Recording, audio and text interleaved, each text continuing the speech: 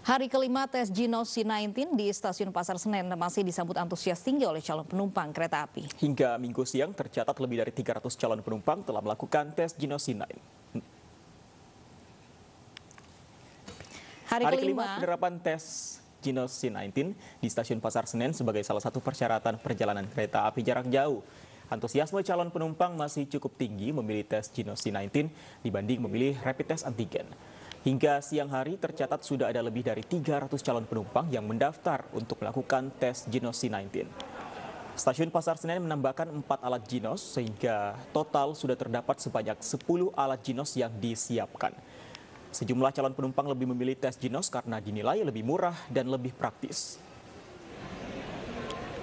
Sementara di Terminal Pulau Gebang, Jakarta Timur, perkenalan dan uji coba Genosi 19 mulai digelar hari ini. Karena sifatnya baru perkenalan dan uji coba, maka baru ada dua alat uji Genosi 19 yang dioperasikan. Uji coba dilakukan dengan random test untuk penumpang dalam uji coba ini pengguna Genosi 19 tidak dipungut biaya.